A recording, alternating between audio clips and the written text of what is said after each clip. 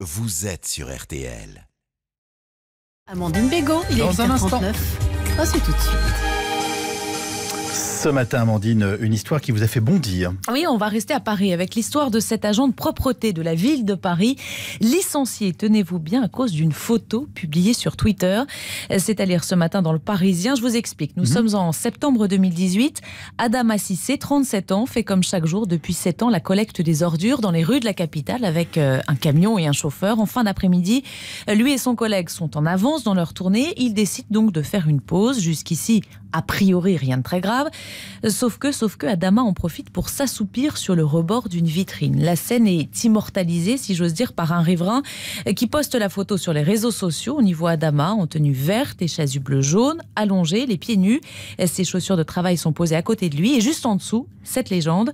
Voilà à quoi servent les impôts locaux des Parisiens à payer les agents de propreté à roupiller on comprend, concluait ce riverain, pourquoi Paris est si dégueulasse.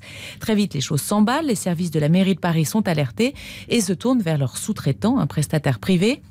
Celui-ci convoque Adama, qui s'explique. Le travail est, dit-il, difficile. On descend et on remonte sans arrêt dans le camion. Et puis, lui et son collègue étaient en avance. Et cette pause ne les a pas empêchés de terminer leur tournée à temps. Qu'importe, l'entreprise décide de licencier Adama pour faute grave, excessif disproportionné. C'est bien sûr pas à moi de juger, mais au prud'homme. Hein, L'audience d'ailleurs aura lieu aujourd'hui à Créteil. Cette histoire, en revanche, me semble-t-il, doit une nouvelle fois nous interpeller quant à l'usage des réseaux sociaux. Et oui, peut-on tout dire, tout balancer sur Twitter Où commence et où s'arrête la délation Dans le cas d'Adama, rien ne serait sans doute arrivé sans cette photo. Elle est clairement évoquée d'ailleurs dans la lettre de renvoi.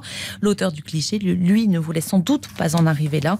Il n'a d'ailleurs peut-être même pas idée des conséquences de euh, sa publication. Le Parisien dit ne pas l'avoir retrouvée. Heureusement, les réseaux sociaux sont aussi capables de bien belles choses. Illustration cette fois avec euh, cette initiative de l'AS Rome, c'est à dire notamment sur le site de l'équipe.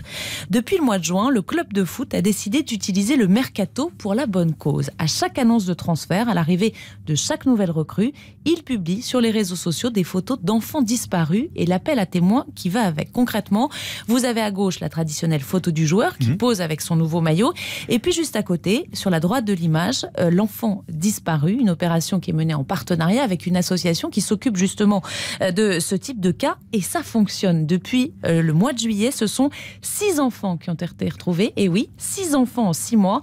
Dernière en date, un jeune Britannique de 15 ans disparu le 12 août dernier. Il a été retrouvé euh, sain et sauf il y a tout juste une semaine grâce à la mobilisation des millions d'abonnés de l'AS Roma.